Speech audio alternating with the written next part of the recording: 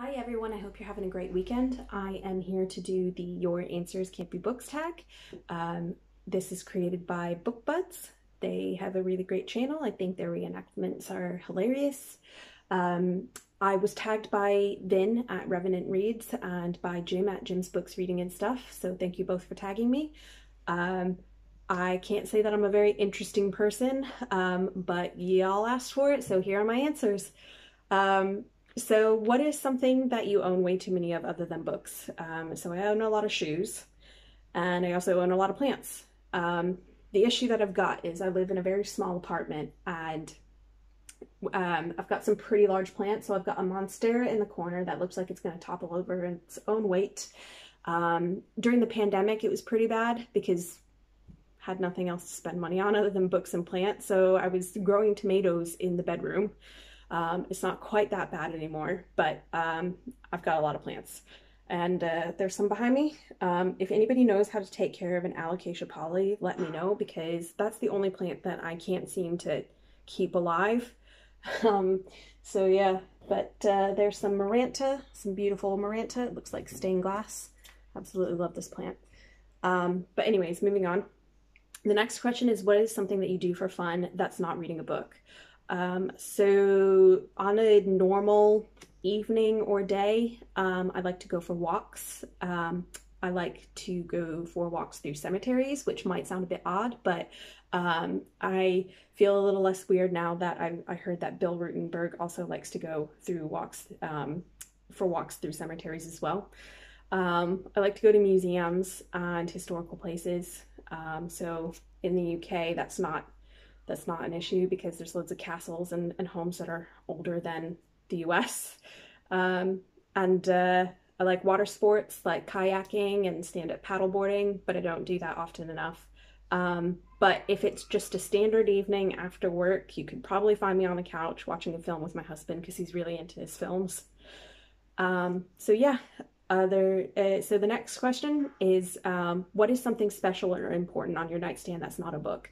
So this might be cheating but um, i don't have anything on my nightstand other than um, a headlight and that's kind of weird but i bought it for um, mountain climbing a few years back and i didn't even use it for the mountain climbing experience and i couldn't take it back for a refund so i was like well i might as well use it for books um, which is really weird because I look like an absolute dork with a head torch on my head while I'm reading in bed. So, weird story about me, but I'm not gonna buy an actual book lamp when I've got that. I could buy a lamp, but I suppose I don't need it when I've got this. so, anyways, um, the next question is what is something uh, that you buy at a bookstore other than books? Um, these notepads, got a big one here. I really like these notepads. They're um, affordable. They look nice and uh, they're great for just jotting things down. Um, so the next question, um, what is a gift that you received that wasn't a book or a gift card for books? Um, my slow cooker. Love my slow cooker. Um, and the next question is, what is a YouTube channel that you watch that's not related to books?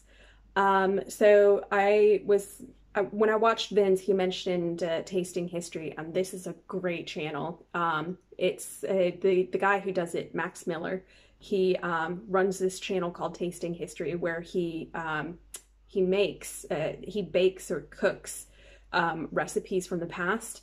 So he made garum from ancient Rome. He made dishes from you know ancient Sparta loads of medieval dishes. Um, Sally Lunn buns, his video on Sally Lunn buns is great um, because it's not only educational, but Max Miller is absolutely hilarious, so charismatic. So you have a great time, you know, you're having fun while you watch them as well.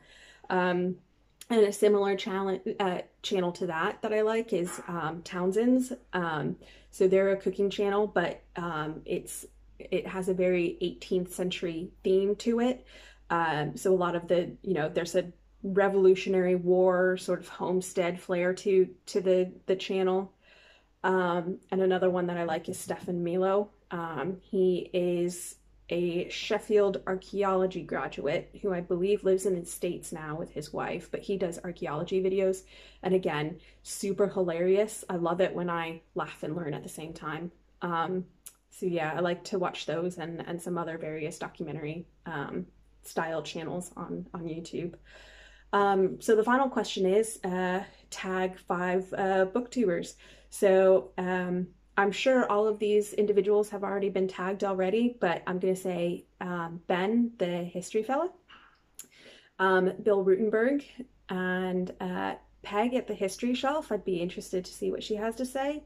And another YouTuber that I um, recently subscribed to and I really enjoy, um, James Holden. Um, if you haven't been tagged yet, if you even watch my videos, um, I invite you to do this tag. Um, so thanks again to Vin and to Jim for tagging me in this. Um, now you know probably way too much about me, too many weird things as well. Uh, but there you go. I, I hope you enjoyed it. have a great weekend, everyone, and I'll see y'all later. Bye.